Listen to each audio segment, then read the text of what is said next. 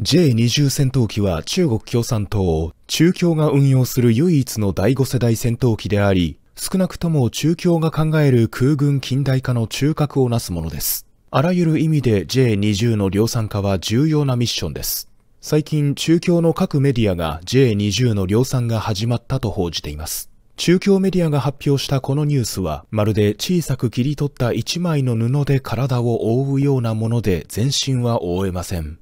この機会に J20 の量産化に関して推理しましょう。生徒引き工業集団製費は昨年12月10日に戦場に納品わしが吠えるという記事を SNS の公式アカウントで掲載しました。製費はその記事で第4四半期以降の J20 試験飛行の納品作業は非常にタイトであるが、多くの重要な作業を次々と完了させて納入目標が再び引き上げられたことに触れています。政府は第4四半期以降、複数の軍からの航空機の受領に追われ、研究開発への挑戦や生産、納入が困難な状況に直面していると述べました。厳しい研究や生産状況、納期目標を前に機体全体の納品という難題に直面しつつ、試験飛行と納品作業を乗り越えて毎年の納期戦に勝ち抜かなければならないと同 SNS に記載しています。この成否のメッセージから読み取れるのは、成否は昨年末に大量の試験飛行と納入作業が完了しなかったこと、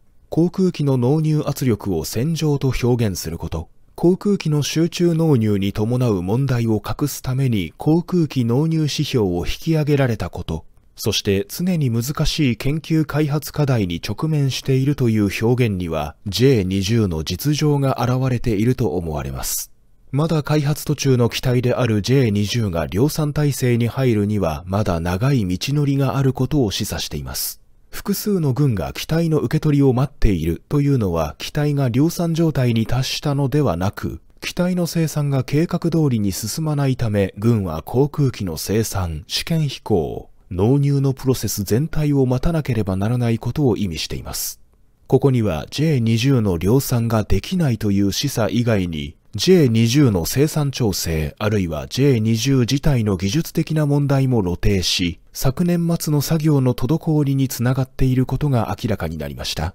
中共文化のマスコミ制度では悪いことを善と言い、小さなことを大きなことのように必要に応じて表現することができます。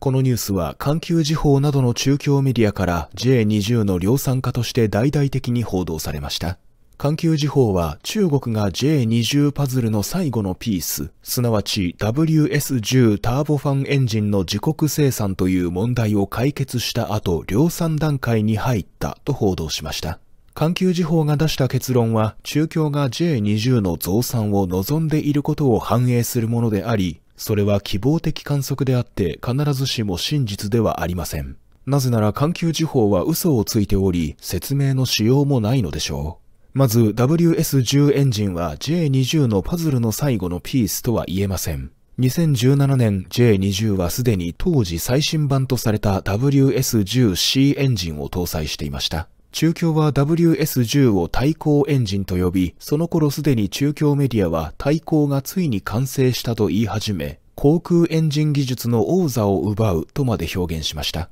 J20 が今日 WS10 という最後のピースを待っているのなら5年前にはすでに量産体制が整っていたはずで、なぜ今日まで待たなければならなかったのでしょうか実際 WS10BC は2008年前後に順次定型化されましたが J11 そしてその後の J15、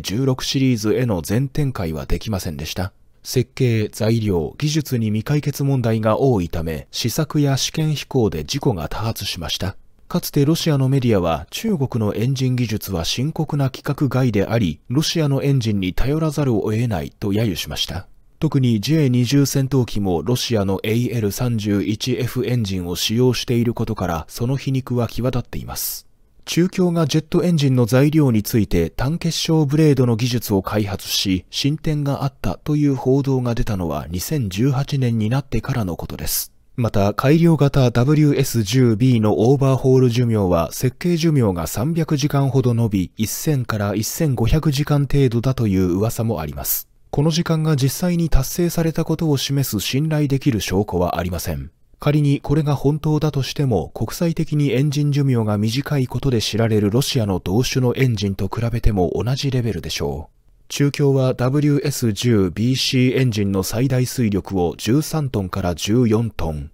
水力重量比を8と主張していますが、これは第4世代戦闘機ではせいぜい低レベルから中レベルのパワーユニットで、第5世代戦闘機としての規格を満たしていません。このエンジンを搭載した J20 はまだ超音速での飛行ができず、真の第5世代戦闘機とは言えません。これにエンジンの信頼性の低さや寿命の短さが加われば、J20 は性能面で弱点を抱えるだけでなく、運用効率にも深刻な影響を与えることになります。このようなエンジンでも中京は嘘を言ってきました。このエンジンを搭載した J20 と30年前に量産を開始したアメリカのステルス戦闘機 F22 を比較すると大きな差があることがわかります。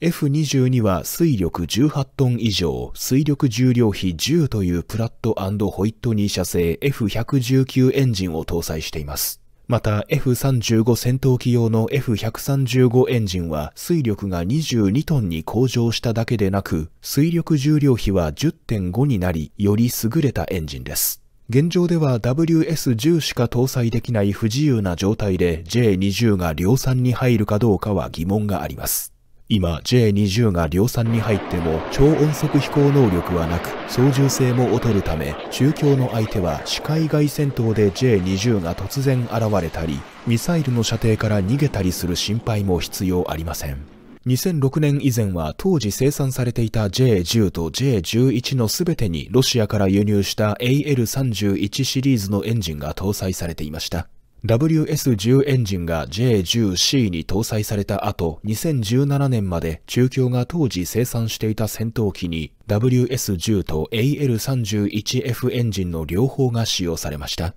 WS10 が AL31F に置き換わった2017年以降、中京はロシアのエンジンを購入しなくなりました。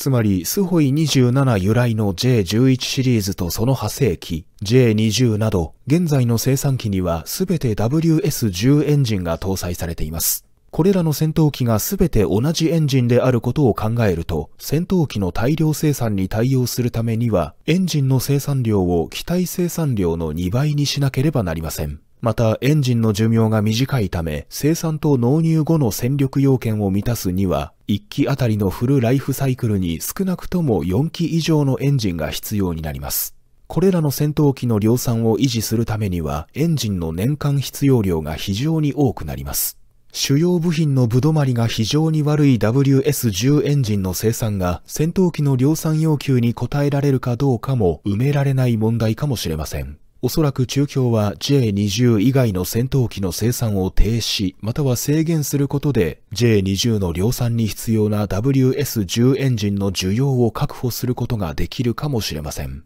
仮に WS10 の生産数が J20 の量産需要を満たせるとしても、WS10 が J20 の要求性能を満たせない状況下での J20 の量産化は、中京が当初 J20 に付随して設計した WS15 ターボファンエンジンにもあまり期待が持てないことを意味します。少なくとも長期間 J20 は WS15 に頼ることはできません。2020年6月には WS15 は J20B の第3バッジに最新のターボファン W15 エンジンを搭載し、少量生産を開始するという話までありましたが、現在はこの話はなくなり、WS15 を搭載した J20 は見られていません。WS10 エンジンよりはるかに小さいバイパス比を持つ WS15 は、より大きな水力と高い水力重量比を示しますが、その性能はターボジェットエンジンに近く強い水力を維持するためには高い燃料消費に依存します。